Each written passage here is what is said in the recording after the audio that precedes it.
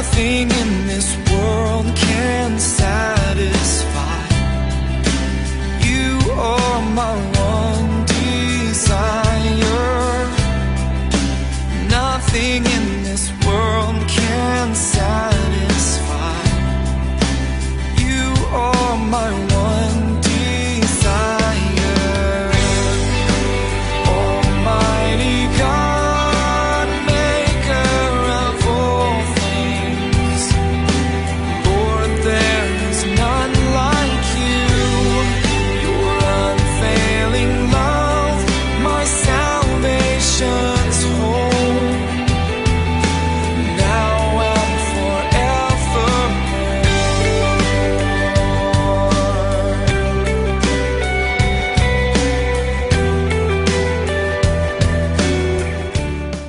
Los Reyes has been awesome. We went to a hospital um, one night and we like load in the back of this rickety pickup truck and drive for like 40 minutes um, to this hospital and um, just um, playing guitar in the waiting room and sharing testimonies um, and praying for people, um, praying for miracles. And it was really cool.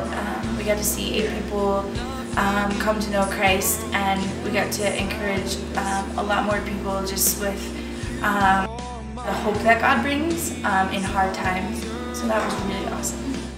Nothing in this world can.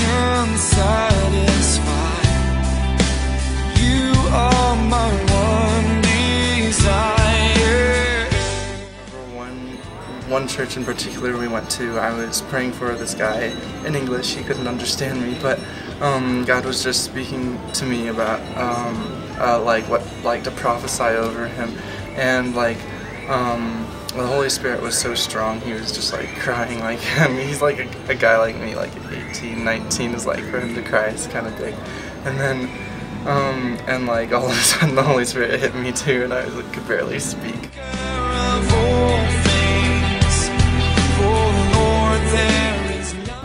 We've also gone to several different jails, um, and we would just like evangelize, do some skits, um, sing songs like with the guitar, um, just worshiping God outside outside of the jails, and really ministering to a lot of the people that um, are going in and visiting like family or friends,